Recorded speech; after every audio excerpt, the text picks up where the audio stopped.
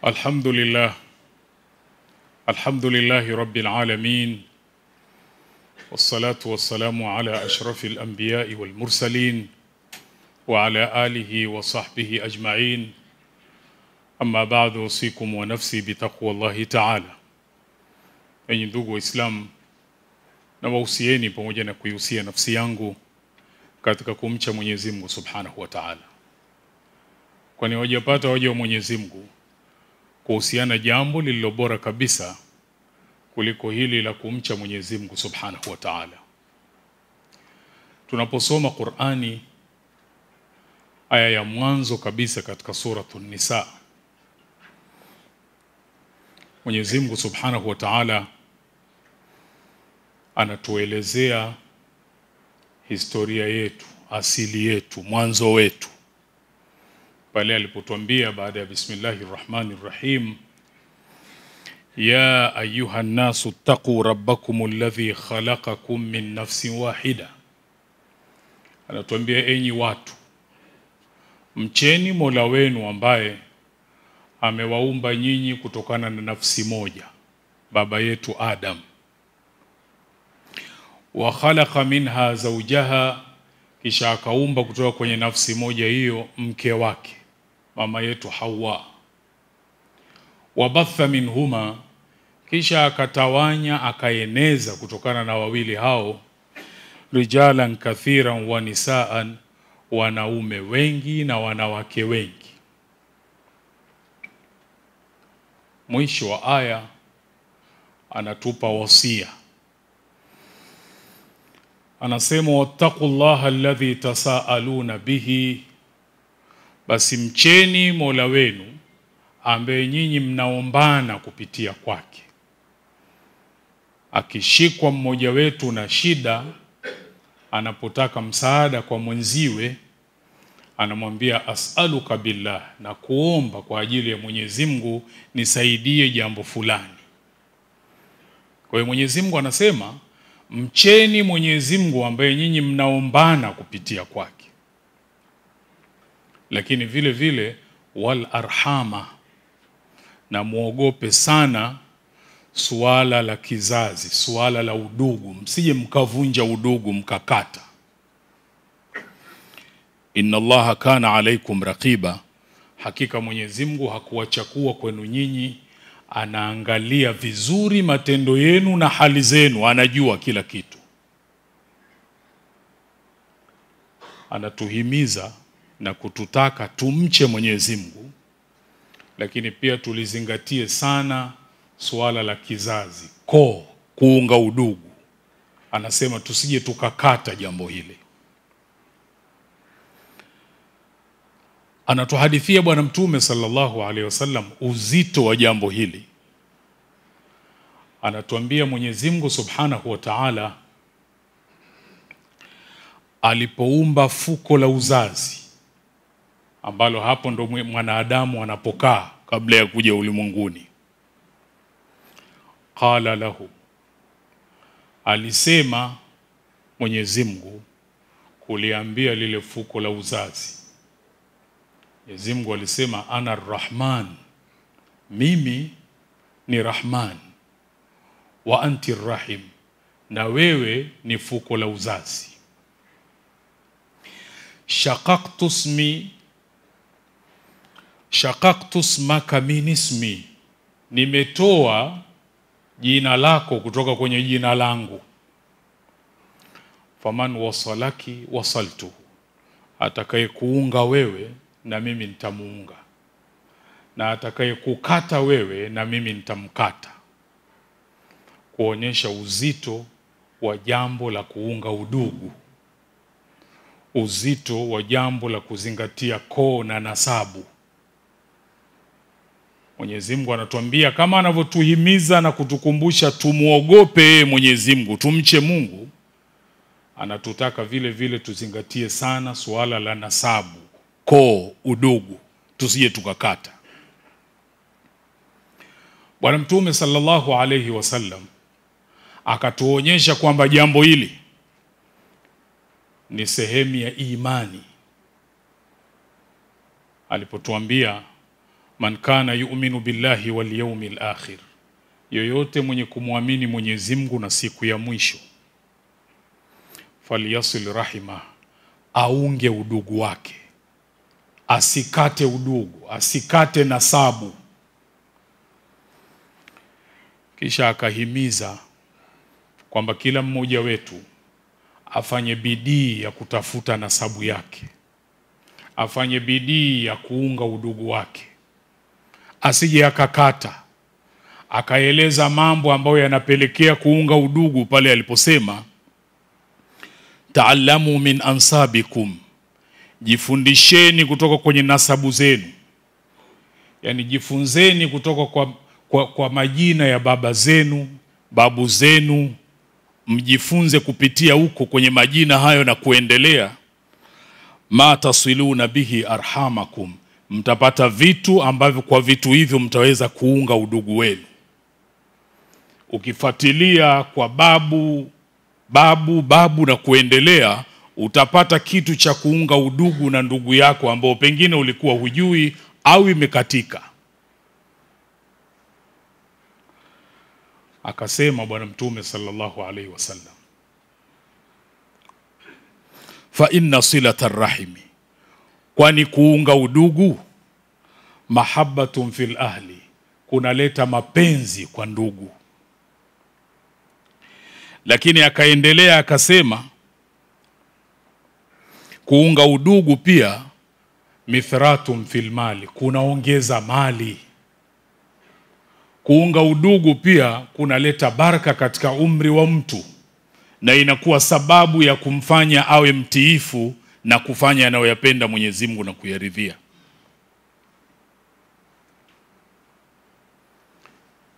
Jambo la kuunga udugu ni jambo kubwa sana. Kukata udugu madhambi yake ni makubwa mno. Wanazuoni wakaeleza namna ya kuunga udugu ni ipi? Wakasema ni kufanya wema kwa ndugu kwa kiasi cha uwezo wake mtu. Wakati mwingine kuunga udugu wanasema kunakuwa kwa mali, kuunga udugu kunakuwa kwa huduma, kumsaidia mwingine, kuunga udugu kunakuwa kwa kutembelea wagonjwa, ndugu zako. Na wakati mwingine kuunga udugu kunakuwa hata kwa kusalimiana, ambao wanazuoni wamesema hiyo ndio daraja ya chini kabisa kati ya ndugu na ndugu, kuunga kutoleana salamu, kwa sababu kuunga udugu kuna daraja. Ya chini, ndiyo hiyo. Kwamba imeshindikana ime, kabisa, badala ya kuwa hamsemeshani mnatoleana salamu. Lakini wakaeleza wanazuoni kuunga udugu kuna tofautiana kila mmoja na uwezo wake. Kuna kuunga udugu ambako kumewekwa ni lazima na kuunga udugu kumewekwa ni sunna. Akiunga mtu udugu sehemu fulani akawa hakumaliza maeneo yote, huyu haambiwi kuwakakata udugu lakini kama ambavyo aki, mtu akifanya kwa makusudi kutotekeleza kwenye kuunga udugu kwenye jambo ambalo ana uwezo nalo, huyu haambiwi kaunga udugu. Mfano, anao uwezo wa kumsaidia ndugu yake matibabu ya maradhi aliyokuwa nayo, lakini akaamua hivyo asifanye kwamba anatosheka kuwa tunasalimiana kwamba hati kule kusalimiana ndo kashaunga udugu. Wanazuoni wanasema huyu haitwi kaunga udugu. Kuunga udugu ni kutekeleza wajibu uliowekwa kisheria ambao wewe unao uwezo nao. Ukifanya chini ya uwezo wako, wewe huitwi kwa umeunga udugu, utakuwa tayari umeingia kwenye makosa makubwa ya kukata udugu ule. Mwenyezi Mungu Subhanahu wa Ta'ala atujalie tuwe miongoni mwa waja wake walio wema ambao wanaishi katika ulimwengu wakishughulishwa sana na jambo hili la kuunga udugu. والله سبحانه وتعالى يقول فإذا قرأت فإذا قرأت القرآن فاستعيذ بالله من الشيطان الرجيم. أعوذ بالله من الشيطان الرجيم. بسم الله الرحمن الرحيم. يا أيها الناس اتقوا ربكم الذي خلقكم من نفس واحدة وخلق منها زوجها وبث منهما رجالا كثيرا ونساء واتقوا الله الذي تساءلون به والأرحام. إن الله كان عليكم رقيبا. صدق الله العظيم. بارك الله لي ولكم بالقرآن العظيم. ونفعني وإياكم بالآيات والذكر الحكيم. أقول قولي هذا واستغفر الله العظيم لي ولكم. فاستغفروه إنه هو الغفور الرحيم. وهو البر الكريم.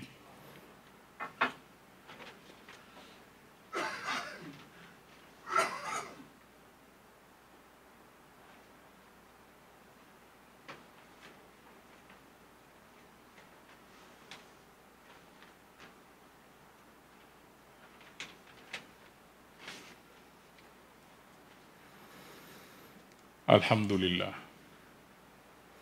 الحمد لله رب العالمين والصلاة والسلام على أشرف الأنبياء والمرسلين وعلى آله وصحبه أجمعين أما بعد أوصيكم ونفسي بتقوى الله تعالى Enyi ndugu Waislamu, na wahusieni pamoja na kuihusia nafsi yangu katika kumcha Mwenyezi Mungu Subhanahu wa Ta'ala, kwani hawajapata waja wa Mwenyezi Mungu kuhusiana jambo lililo bora kabisa kuliko hili la kumcha Mwenyezi Mungu Subhanahu wa Ta'ala. Ilipotajwa suala la kuunga udugu na kwamba tulichukulie jambo hili kwa uzito, tusikate. Mungu aliposema wal arhama, wanazuoni wakatupa maelezo, ndugu ambao hatutakiwi kuwakata. Ndugu hao ni kina nani? Wakatuambia ni wale ndugu wa nasabu kwenye upande wa baba na upande wa mama. Hapa hawaingii ndugu wa kunyonya, wala hawaingii ndugu wa mtu upande wa mkewe au mke ndugu upande wa mumewe. Lazima wawe ndugu wa nasabu, na walio wakaribu mno katika hao, kwanza ni mama kisha baba, kisha babu. Na kuendelea kupanda juu, kama ambavyo pia kuna watoto. Na watoto wa watoto. Na kuendelea kushuka chini. Lakini pia kuna baba wadogo, kuna mama wadogo, watoto wa baba wadogo na mama wadogo, watoto wa wajomba na mashangazi na kuendelea. Hao wametajwa ndio wale al-arham, ambayo Mwenyezi Mungu anasema tuchunge jambo hili tusije tukalikata. Aliyo karibu mno katika hawa ndugu wote ni mama. Bwana Mtume sallallahu alaihi wasallam anatuambia, inna Allaha yusikum bi ummahatikum Mwenyezi Mungu anawahusieni kwa mama zenu. Akarudia akasema, thumma yusikum bi ummahatikum, kisha anawahusieni kwa mama zenu. Kisha akasema, thumma yusikum bi abaikum, kisha anawahusieni kwa baba zenu. Thumma yusikum bil aqrabi fal aqrab, kisha anawahusia kwa wale ndugu wengine sasa walio karibu mno na wanaofuatia kwa ukaribu. Alikwenda mtu kwa Bwana Mtume sallallahu alaihi wasallam, akataka kujua nani ndio amtangulize katika kumfanyia wema kwanza. Mtume akamwambia ummak, mama yako. Mtu yule akauliza thumma man, kisha nani? Akaambiwa kisha mama yako. Akauliza kisha nani? Akaambiwa kisha baba yako. Thumma alaqraba fal aqraba kisha wa karibu zaidi na yule wa karibu anayefuatia. Kwa maelezo haya ya Bwana Mtume sallallahu alaihi wasallam yanampa mama daraja ya kwanza kwamba yeye ndo wa karibu zaidi. Kwa msingi huu, mama kwa kuwa amepewa daraja hiyo kwa sababu ya nafasi yake maalum ambayo anaieleza Mwenyezi Mungu Subhanahu wa Ta'ala katika Qur'ani inayoitwa al-umuwa, umama. Ukitaka kuelewa zaidi unasoma kwenye kisa cha Nabii Musa na mama yake kwamba mama yule amemzaa Nabii Musa katika kipindi ambacho Firauni anachinja wale watoto wanaume kutoka Banu Israeli. Amemzaa akiogopea mwanawe akigundulika kuwa ni mwanamume atachinjwa. Mwenyezi Mungu anatuhadithia katika Qur'ani kwenye suratul Qasas, wa auhaina ila ummi Musa, tukampelekea akapewa ilham mama yake Nabii Musa. Akaambiwa an ardhiihi, mnyonyeshe mwanao, usiwe na wasiwasi, tulizana. Lakini faidha khifti alaihi, ukiwa una wasiwasi atagundulika, faalqihi fil lyami muweke kwenye cradle, kwenye kisusu kile, kisha umwingize kwenye mto Nile, ukiache kiende akiwa yuko mwenyewe. Mwenyezi Mungu anampa ahadi, anamwambia wala takhafi wala tahzani usiogope wala usihuzunike, we fanya hivyo. inna raduhu ilaik, mimi nakupa ahadi nitakurudishia huyu mwanao, wajailuhu min almursalin, na nitamfanya awe katika mitume. Pamoja na ahadi hiyo, Mungu anatuhadithia kwenye surat al-Qasas, waqalat liukhtihi qussihi, mama akarudi kwa dada yake Nabii Musa akamwambia hebu fuatilia hiki uone huku kinakokwenda hali itakuwaje. Inaitwa umama ambao Mwenyezi Mungu anaueleza kwenye Qur'ani. Kwa nafasi hii amepewa daraja maalum, kama ambavyo siku moja Bwana Mtume sallallahu alaihi wasallam waliletwa mateka pale kwake wa vita. Ndani yake kukawa kuna mama anakwenda mbio, anakwenda mbele, anarudi nyuma Tahamaki akamwona mwanawe alikuwa anamtafuta. Alivyompata akamkumbatia kwa karibu zaidi, kisha akamnyonyesha.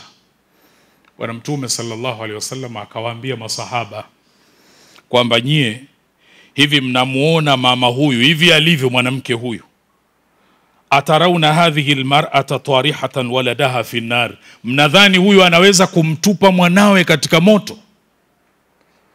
Masahaba wanasema kulna la, tukasema hapana.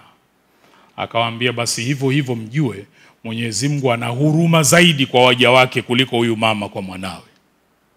Kwa huruma hizi mama akapewa daraja hiyo. Anatakiwa mama ajue daraja yake, aelewe nafasi yake, asimame kwenye msimamo huu, ndo atastahiki daraja hizi, vinginevyo atapoteza asishiriki katika kukata udugu huu wa yeye na mwanawe kwa kumtoa katika tumbo lake bila sababu yoyote.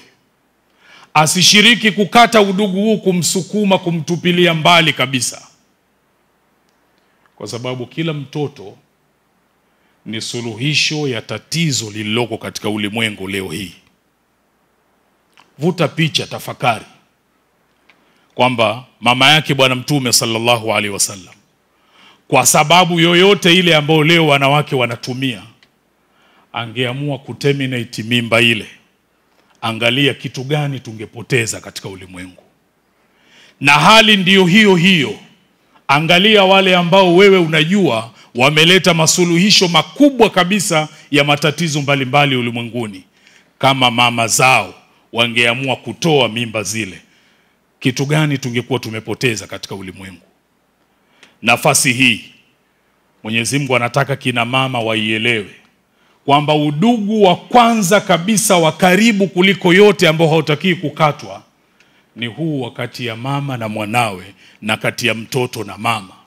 Akatwambia Bwana Mtume sallallahu alaihi wasallam, aljannatu tahta aqdamil lummahat, pepo iko chini ya nyayo za kina mama. Udugu huu ndo kwanza unatakiwa usikatwe, na kisha vile vile tusikate udugu kwenye zile daraja nyingine. Mwenyezi Mungu Subhanahu wa Ta'ala atujalie tuwe miongoni mwa waja wake walio wema wanaosikiliza maneno na wakafuata aliyokuwa mazuri. Kuunga udugu ni sababu ya kufutiwa madhambi.